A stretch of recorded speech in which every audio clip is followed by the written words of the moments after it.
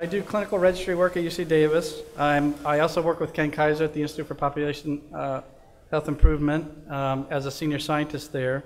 And, but I'm most famously known by what Don Detmer once called the world's only infomortician because of the California electronic medic, uh, death registration system. So I won't talk about that today. So what will I talk about? Blue sky and, and registries. So we were asked to speak about blue sky ideas. So the idea here is next generation registries. And it started with the idea of this, the standard traditional surveillance registries, uh, the one we have that runs uh, out of IPHI for the California Department of Public Health is a Cal- California Cancer Registry, one of the, I think one of the best cancer registries in the world. Um, and the idea was uh, when EHR adoption is broad, um, maybe over 70%, what should or could we do to provision data for these registries? Should we do things differently? And I think we obviously should, and we obviously can, but what else can happen? So that's what I'll talk about briefly today. So registries today are anything but blue sky. Um, case ascertainment takes a significant amount of time. Just understanding who got a cancer takes two years to three years. Daniel's, data is manually abstracted, uh, even from EHRs today. We have had an Epic installation for eight years, and my cancer registrar um, abstracts data out of the Epic chart. And in fact, it's harder than the paper chart. Flipping pages on a screen is much slower than on a paper chart. It's not very well organized for the kind of things that she needs to do. Data is often incomplete because if she can't find something like ERPR status, it's left blank. And we all know about various flavors of null. So did you look and didn't find it? Was it not done? Who knows? And in fact, it was done. They were referred from an outside facility, and it was done in an outside facility. So it's not my lab system. It's somewhere buried in a note saying it's ERPR positive. Um, also very difficult to find. Assembling data includes identification of duplicates and linking the same patient across multiple institutions that have reported information about this patient. That is a significant undertaking by the California Cancer Registry. And then because of all this, cost is very, very high and data quality is not commensurate with the effort. Um, hundreds of millions across institutions, and you just replicate that across the number of registries and the number of states. Um, I, I run out of zeros very quickly in terms of cost. So what can we do? And are they of value? Um, surveillance is what I mentioned here. That's traditional. You can use them to measure quality of care. And now I'm talking about not just surveillance registries, the kind that you see in public health, but every institution, I believe, will have one or more um, registries. Um, and then clinical research, of course, understanding disease and improving diagnosis and treatment. But maybe they also have other value. Can they help improve care? So that's something I was never really contemplated. But the first thing I thought when I saw the cancer registry data was, wow, if I saw that patient, I'd really want to know that record. And then I said, can, can you do that? And they go, no, we're not allowed to do that. The statute doesn't allow it. The law says we can't, not because of privacy, but because of the cost involved. They're meant to be a surveillance registry, which they do very well. They're not supposed to participate in clinical care. So I thought, well, that's not great. So that may be something we can change. So a significant amount of care also is fragmented across multiple providers. This is particularly true for cancer. So a cancer doctor would really want to see all that data, particularly if they're seeing the patient again, or maybe a recurrence. A complete view of the patient's record requires assembling all these slices together from all these providers. Does this theme kind of ring a bell? Health information exchange people?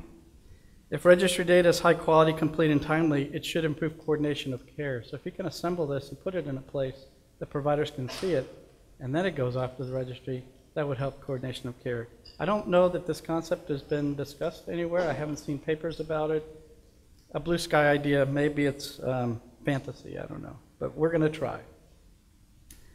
So that's what's behind Project Inspire, we call it interoperability to support practice improvement, disease registries, and care coordination. So it's about acquisition and exchange of patient data in a high impact condition. So, and I'll talk a little bit about kind of our approach here.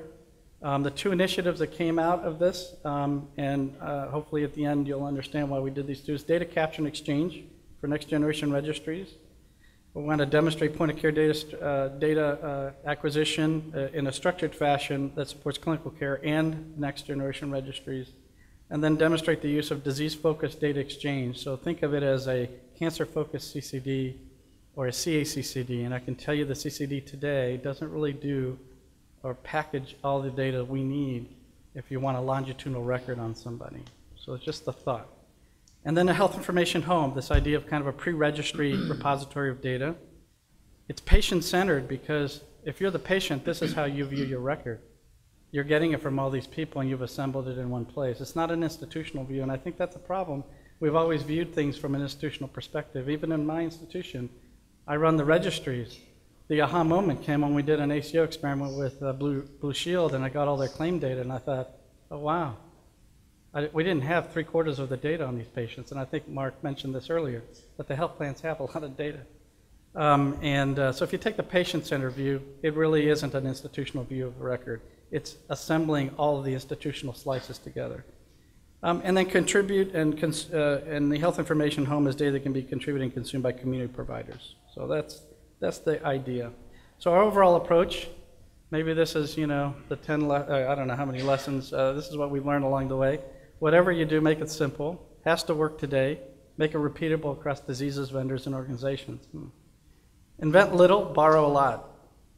Have an immediate starting point that's clinically relevant and have a roadmap to the future. So have a starting point that's practical, but also make sure there's a roadmap to the future. Start by focusing on a single high impact disease, which we've done. We focused on breast cancer. Partner with a community that's focused on that disease and willing to undertake culture change because this is as much about culture change as it is about tech stuff. And so we've partnered with Athena, which is a breast health network, and I'll describe it briefly. And then partner with standards organizations right out the gate and policymakers to broaden what we develop. Make sure they understand what we're doing, why we're doing it, and if they want to leverage it or take advantage of it, great. So we, in our uh, group, we have Mark Shafarman who works with us, who's been a member of HL7 from the beginning, has been its chair uh, uh, at least once, and um, we also work with IHE, and now we've started to work with ASCO, American Society of Clinical Oncology, as well as the College of American Pathology. And then share, share, share. Be transparent. Show vendors and others what we're doing. This shouldn't be a secret to vendors. We want you to do this. So this shouldn't be something that we only dole out to small, small uh, number of vendors. So one of the conclusions we came to very quickly was it all starts with good data capture. So, you know, you can't make great landscapes out of landfill, you know, which is kind of what we have. We have a data landfill today and it's not going to get better unless we have better data capture. So part of that is structured data capture. I'm a clinician. That, uh, that's, that's, a, that's a tough one, but it's a start. So I can show you kind of our approach. The first thing I happened when I talked to uh, my colleagues about this, and pathologists, radiologists, et cetera, was they just shook their heads and said, I'm not going to double enter anything. And I said, well, maybe we can meet in the middle. You don't double ever enter everything, but you enter key pieces of data, key points in the care process. So our approach is that. Ask providers to enter structured data for key data elements only. They do it in electronic forms or templates at key points of care. Think of it as a checklist, like when you're flying an airplane. They could have used one recently in San Francisco. Data is used for structured sharing and exchange after that. So we can then take this data that's very structured and then provide it back out using packages that actually can contain all the data and do it um, across, for example, episodes of care, um, like in a treatment summary or treatment plan. So, like I said, we like to borrow good ideas. Some call it stealing. We call it leveraging. It's borrowing great ideas. So the CAP actually has something called electronic checklists. And I mention that because you'll see later on, we've used a similar approach for questionnaires.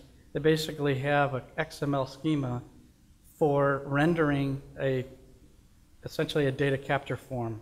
And they've worked with vendors already, with Epic and Cerner, and I believe SunQuest, to implement this for synoptic reporting and pathology. IHE also has, has a, a specification for retrieve form for data capture. And of course, a lot of you probably know about the Remote Data Capture Initiative the S&I framework has started. So um, we, uh, we're borrowing a lot of that stuff. And uh, we also are borrowing this idea that ASCO and HL7 collaborated on called the Clinical Oncology Treatment Plan and Summary. And if you couple that with the um, CDC's CDA for registry submission of cancer data, I think we may start getting close to this idea of a longitudinal record CDA, where I can package a longitudinal record as a CDA, and that gets put in a longitudinal repository. I haven't seen that yet. I believe, and I've been told that CDA can do this using reusable extensions. So the Athena Breast Health Network, culture change. So uh, we have about 200 providers across the five UCs, and now we've uh, added Sanford, not Stanford, but Sanford in the Midwest. Um, and uh, we've put in for a grant from PCORI to add Native American tribe uh, healthcare systems as well as LA County, if they're willing, um, uh, to do this. Uh, and we'll be basically, uh, uh, Athena is about collecting data from women, most of them healthy, and also cancer uh, patients, breast cancer patients, to improve screening and detection, do comparative effectiveness, patient engagement, and hopefully actually do prevention, um, and, uh, and, uh, and uh, improve biomarkers as well as therapy. So we have three cohorts, screening, prevention, diagnosis, treatment, and survivorship. Uh, we have 50,000 already signed up. They've all filled out um, health questionnaires, and I'll show you how they did that and why the tie-in, why, why there's more of a tie-in than just the community. We actually built an XML-based questionnaire system, so it renders the XML on the fly, and we, the XML schema supports questionnaires. So isn't a form really just a simple questionnaire? Turns out the questionnaires we do are a lot more complicated than the synoptic reports that I saw CAP trying to do. Um, so we're all in this doing the same thing with the same methodology, yet we're coming up with different XML schemas. So we should harmonize that, and that's what we're talking about. We actually built the system, it's in play. Uh, patients actually get invitations, they fill out the questionnaire online uh, uh, in a online system that has rendered the XML. They also uh, can fill it out in an iPad in the clinic, and the survey is not hard-coded in the iPad, it actually comes as an XML form, which is rendered in the iPad, with skip logic and everything. And this is all structured data entry. What you can do with that is drive something that you see at the bottom. That actually is something called Breast Health Decision. It's a decision support tool that we have and we use. It automatically adjusts uh, the risk and other statistics and presents them to the patient and the doctor in an easy to understand form, and it's in the right context. And we do that because we have structured data to do that with. So what are we planning to do today for Project Athena that's part of Inspire? We call it Athena Inspire is uh, really deliver to the EHR through what we call web iframe, our essentially Athena questionnaire, but for providers. And, um, and, and uh, our survey system does run on the cloud. It runs on Salesforce. It's already running. I'm not going to spend a lot of time on that.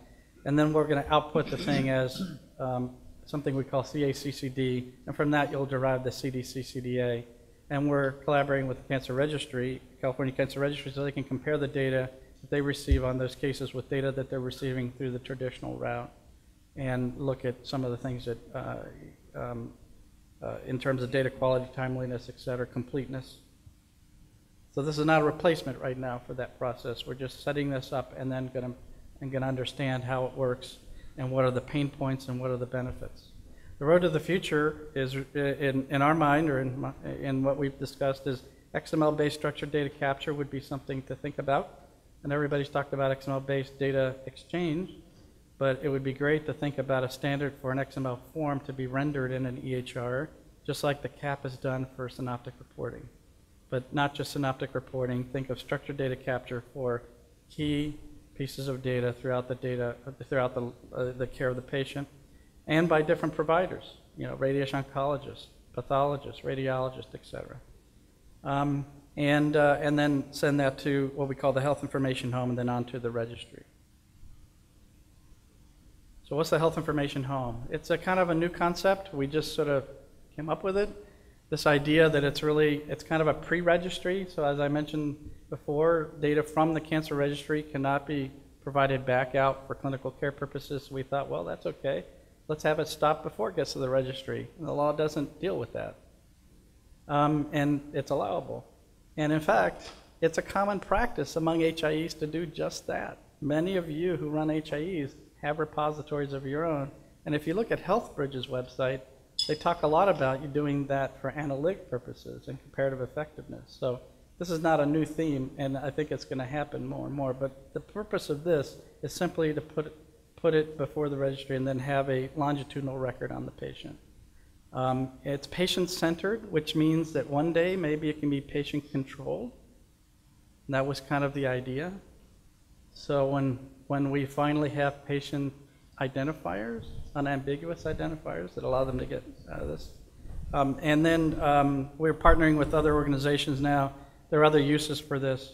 For example, foster children get fragmented care across, you know, multiple providers when they go from home to home. So there's been an interest there, and we're collaborating with, with the Children's Partnership on a proposal there.